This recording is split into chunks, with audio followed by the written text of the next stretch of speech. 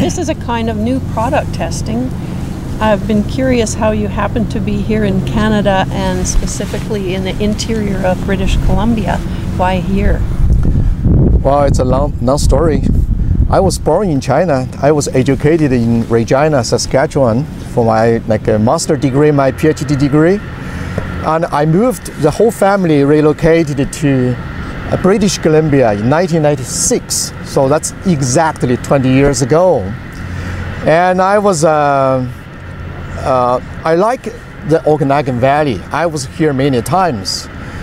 But the event that make me make this decision is uh, last year we have uh, provincial officers.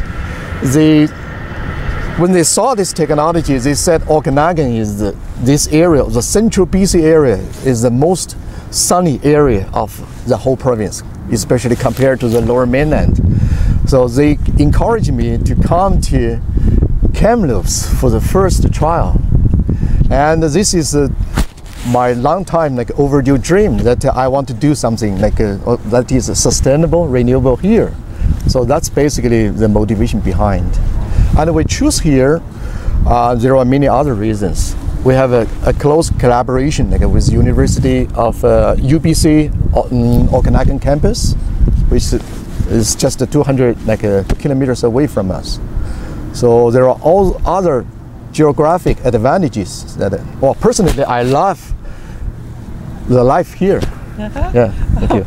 oh, that's a great answer. Yeah, Thank yeah, you. yeah.